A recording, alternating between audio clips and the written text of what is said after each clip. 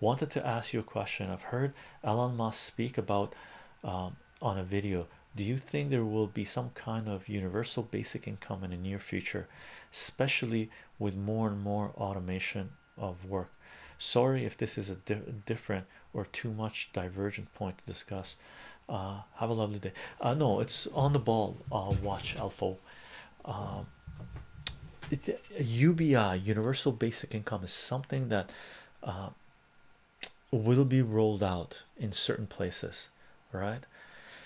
Um, is problematic. I don't agree with it because what that's doing is making people dependent on a centralized system and what's happening right now is centralized systems are collapsing right faith in government is gone right and what most governments have shown is that they are completely draconian so if you become a candidate for universal basic income right?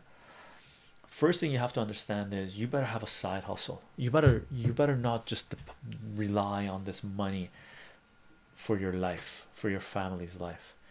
Because what will happen and is already happening is these centralized powers will pass laws and make you jump through hoops to be able to get your monthly income right?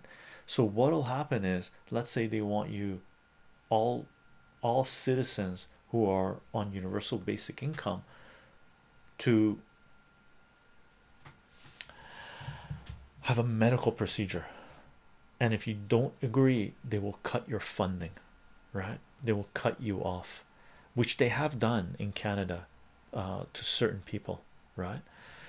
So it becomes problematic uh, mainly i'm against universal basic income and i think it's a trap. Um, it's more it's going to lead to more centralization of power okay? And it's one step towards enslavement of humanity. Uh, i think it's a bad idea